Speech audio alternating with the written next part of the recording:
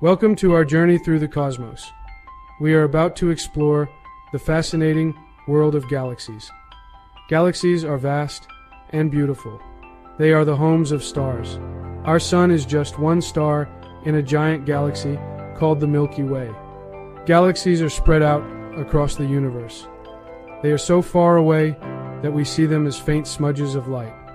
But with powerful telescopes, we can see their incredible shapes and colors.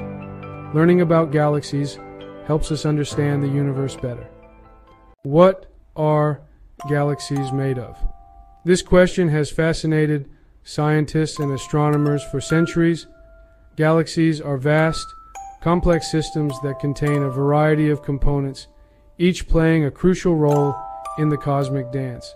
Galaxies are like giant cosmic islands, floating in the vast ocean of the universe. They are not just random collections of stars, but are structured and organized in a way that is both beautiful and functional. Made up of many things, galaxies are a blend of stars, gas, dust, and dark matter. Each of these components contributes to the galaxy's overall structure and behavior. They contain stars, gas, dust, and something mysterious called dark matter.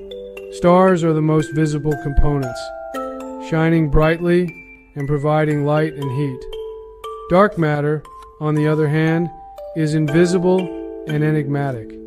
We can't see it directly, but we know it exists because of its gravitational effects on visible matter. Gravity is the force that holds all these components together.